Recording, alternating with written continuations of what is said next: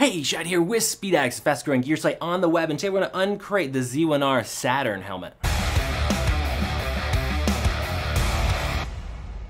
Before we jump in and give you the full rundown on the Z1R Saturn helmet, go ahead and subscribe. That helps keep bringing you the best gear reviews in the universe. And if at any point you decide you'd like to purchase a Z1R Saturn helmet from SpeedAddicts, we would appreciate that. There's a link in the description below to shop for this guy or any other parts of gear you might need for your next two-wheel adventure. So Z1R, they're one of our top-selling budget-friendly helmets today. The Z1R Solaris is their modular helmet, and we sell more of those than any other modular helmet on the market. Now, when it comes to open face helmets, they have a couple different options.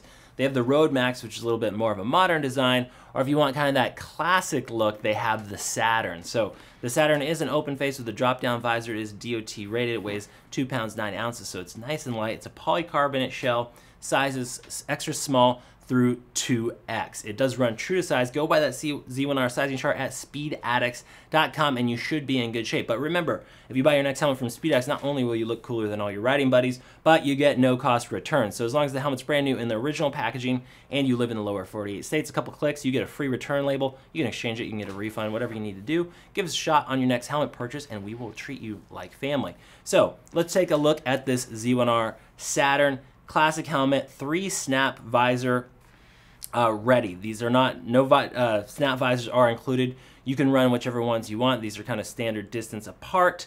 You can purchase them from Z1R. You can get a little visor, you can get a bubble shield, whatever you want to run. You will get a smoked interior lens out of the box, and it is actuated with your hand by just grabbing on it. You have tabs on either side, and uh, nice and sturdy.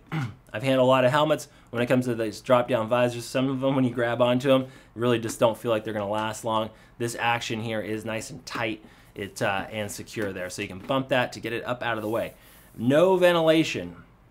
It's a classic kind of spherical design without any sort of ventilation, but of course you are running an open face helmet primary point of entry for air is going to be here, here, here, and here. These are these are your entry points. So uh, if you need more air, pop up your shield, get a little bit more air. That's how the ventilation works on this. On the back, you do see is DOT rated. And this color in front of me is called the Tan Matte or Matte Tan.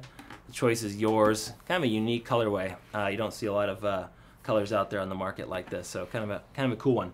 Okay, let's flip this over and see what we're working with on the inside.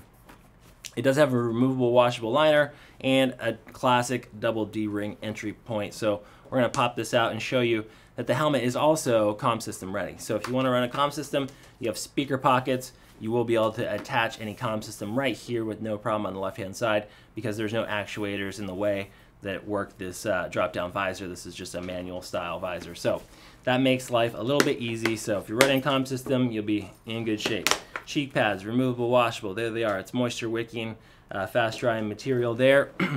and on the back, this liner plugs in to the very back of the helmet.